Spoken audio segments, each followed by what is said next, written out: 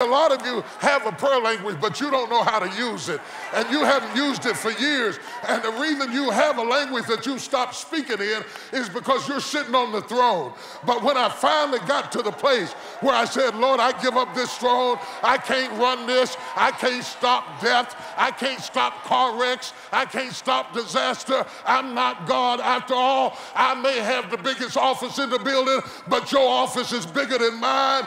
And I'm turning it over to you because you are able to fix things that I cannot fix myself. And the Spirit of God down inside of me started speaking. I don't know what he said. I can't tell you how long he said it. All I can tell you is that while he was talking, grief, woo, grief started coming up out of my spirit.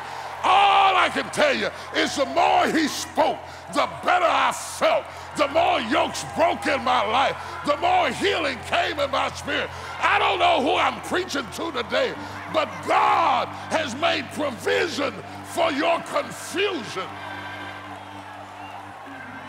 Lift your hand and open your mouth and speak to your God and let your God speak out of your belly. The anointing of God is in this place. Open your mouth. Get off of your throne. Come down off of your high place. Humble yourself. We know not what we should pray for.